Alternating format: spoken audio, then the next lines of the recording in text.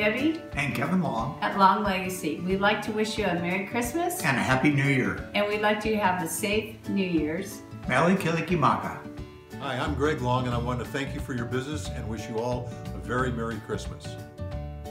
Hey everyone, it's Jack Kanan with Long Legacy Brokerage wishing you a happy holiday season and a wonderful new year. Hi everyone, it's Katie with Long Legacy Brokerage.